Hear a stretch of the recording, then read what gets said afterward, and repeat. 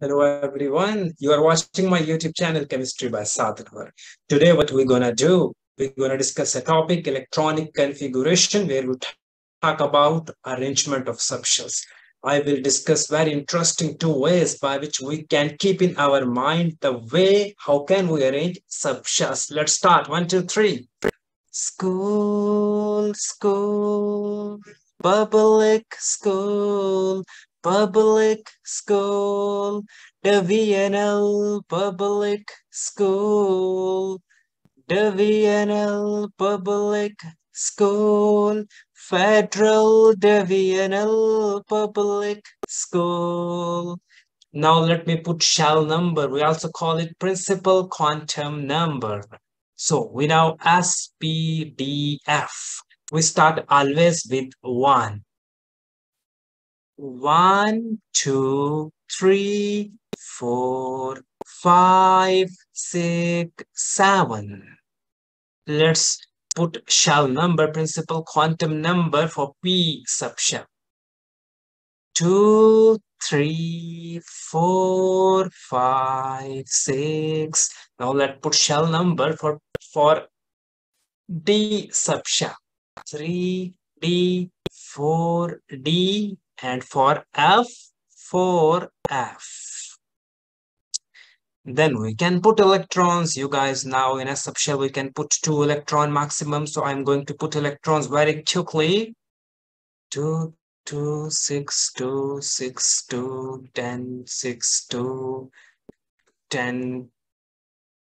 So this should be 3D, then this should be 4D, this should be 5D. 6, 2, 14, 10, 6, 2. So this is the one where we can we can arrange these subshells. We have to arrange these subshells. The other way is to make a picture. Let's see. 1s, 2s, 3s, 4s, 5s, 6s, 7s. Then P 2p, 3p, 4p, 5p, 6p. Then D, 3D, 4D, 5D. Then F, 4F. This is the other way. Now just put an arrow like that, like that,